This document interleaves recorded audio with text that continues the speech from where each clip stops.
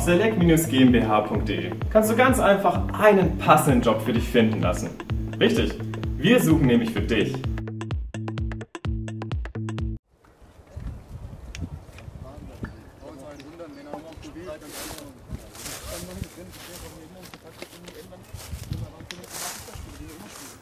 Michael, auf jeden Fall ein äh, sehr äh, interessantes Spiel heute gewesen, sehr umkämpft, äh, emotional aufgeladen, war irgendwie alles drin. Ja, was sagst du jetzt so kurz nach dem Spiel? Ja, ich glaube, ähm, emotional aufgeladen trifft schon extrem. Es war sehr hektisch, aber halt auch dem Tabellenstand natürlich geschuldet. Äh, wenn wir heute das Spiel gewinnen, dann sind wir nochmal extrem dran.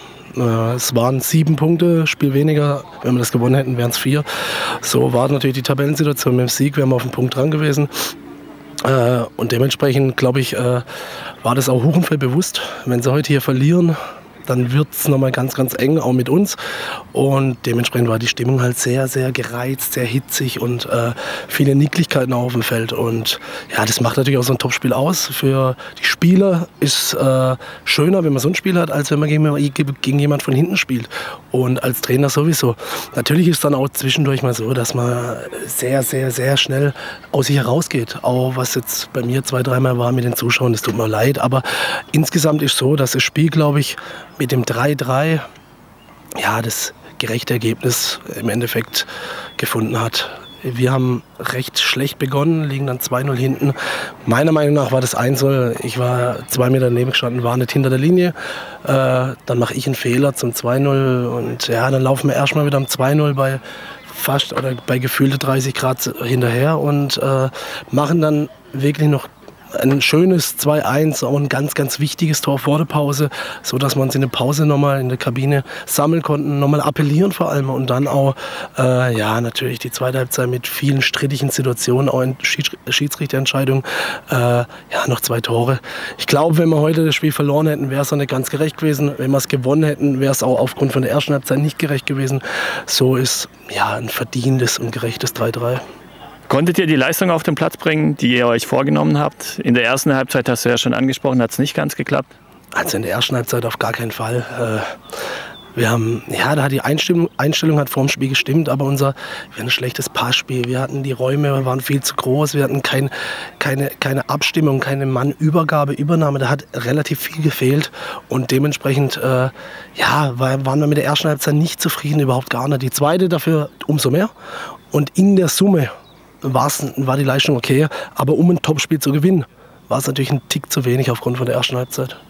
Du hast die Schiedsrichterentscheidungen angesprochen. Möchtest du da ein Statement dazu geben zu der einen oder anderen Situation, die ja vielleicht in den meisten Fällen eher zu euren Gunsten ausgefallen ist? Ja, ich weiß jetzt nicht, ob das zu unseren Gunsten ausgefallen ist. Das 1-0, äh, kriegen wir das 1-0, der Ball ist vor der Linie, ist gegen unsere Gunsten. Dann kriegt der Daniel Reule, der jetzt gerade hierher läuft, eine gelbe Karte, die wo ich nicht so sehe.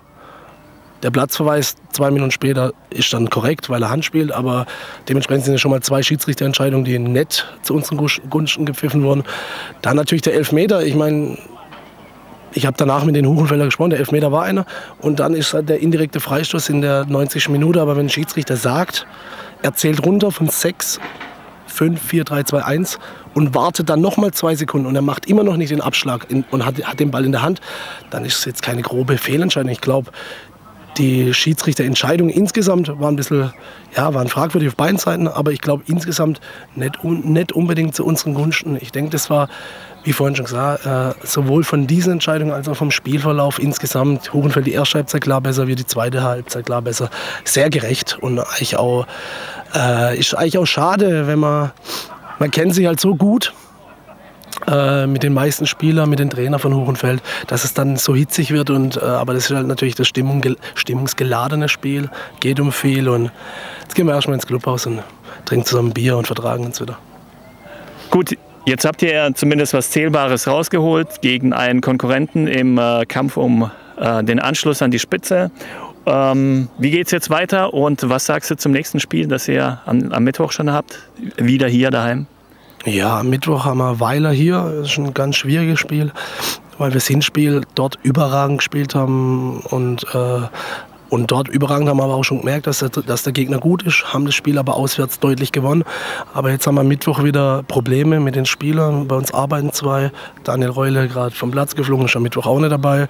Und dann wird es natürlich schon sehr, sehr eng von der Personaldecke. Wir haben einen Kader von 17 Spielern, davon sind zwei verletzt. Dementsprechend sind wir bei 15, zwei sind nicht da. Und dann mit einer gelb-roten Karte ist es natürlich nicht so einfach. Aber ja, wir spielen zu Hause, wollen natürlich das Spiel gewinnen. Ich denke, dass wir da auch ein ein ähnliches Spiel wie heute in der zweiten Halbzeit abliefern. Und dann ist es natürlich das Ziel, das Spiel zu gewinnen. Und dann fahren wir am Samstag nach Öschelbronn. Das nächste Spitzenspiel. Also es sind jetzt nur noch sind Entscheidungsspiele. Wenn wir jetzt ein Spiel verlieren, dann war es es mal vom Anschluss nach oben. Wenn wir es natürlich gewinnen können, dann bleiben wir so lange wie möglich dran. Aber jetzt gucken wir mal, was am Mittwoch bei rumkommt und hoffen natürlich, dass wir das Spiel gewinnen werden. Michael, ich danke dir vielmals für das Interview und wünsche dir noch viel Erfolg. Vielen Dank, ebenso. Worauf wartest du noch? Jetzt den passenden Job finden lassen auf select-gmbh.de.